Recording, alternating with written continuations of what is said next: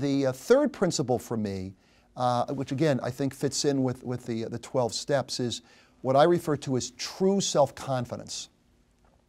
And this one's interesting because when I say true self confidence, many times people will say, Well, what's the true? You're either self confident or you're not. What, what's the true?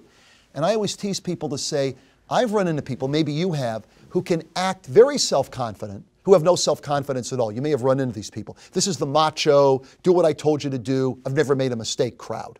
I'm not talking about those people. I'm asking, do you have true self confidence? And the way I personally think about it is this I'm very well aware, very well aware, that there will always be people brighter than I am, more athletic, more articulate, more whatever, but, but I'm okay. I know what I know. I know what I don't know. I'm a learning, per- I'm a work in process, right? I got the opportunity to get better over time. And then I think it's helpful to define what true self-confidence is not. You know, it's for me, it's not egotistical, it's not arrogant, it's not obnoxious, it's not complacent. It isn't, oh, I've arrived. No, I'm pretty good, but I'm going to get a lot better. In fact, at, at Baxter, we used to describe it as uh, I'm sort of a work in process. Okay, I'm a work in process.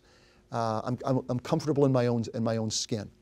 Um, and I think if you take the time and realize how you decide whether you have true self confidence, here, here's two questions you can kind of play around with that I think help you. Because people will say, well, how do, how do I know if I have true self confidence? Here, here's, a, here's two questions I think you can ask yourself. First question is whatever your role is, whatever you do, have you reached a point yet in your life where you're comfortable to say, I don't know? You know, hey, I don't know, uh, Kelsey, but you tell me how fast you need an answer. I'll, I'll, i know somebody who probably does know, but I don't happen to know. I'm not going to wing it. I'm not going to pretend I do, but, but I'll get an answer. But I just don't happen to know. Okay? And if you think about it, there's a lot of people, it's like carrying an anvil around, right? They never, never want to admit that they don't know. Okay? No, I don't know, but you know, Dave, I'll find out pretty quick for you. The other question is, have you reached a point yet where you're comfortable to say I was wrong? Forget what I said, what Harry said makes more sense. Let's do that. Are you willing to admit that you were wrong? And I often ask students, I'll say, well, why is it, why is it that a lot of people don't want to admit they don't know? And why is it they don't want to admit that they were wrong? And I'm not sure, but I think it's because if uh, Hannah's my boss and I say, hey, you know, I don't know, what's she going to think of me? Is she going to think I'm, I'm not very good, right? Well, here's an interesting way to think about this.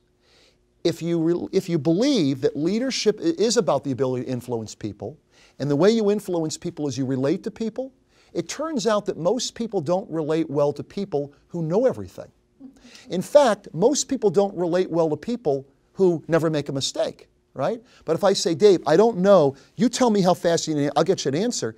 I'm actually thinking Dave may say, hey, Harry's a regular guy. I can relate to Harry. Ah, if you can relate to me, I can influence you and I can lead you, right? So it's interesting to me, it works the opposite as to what most people fear.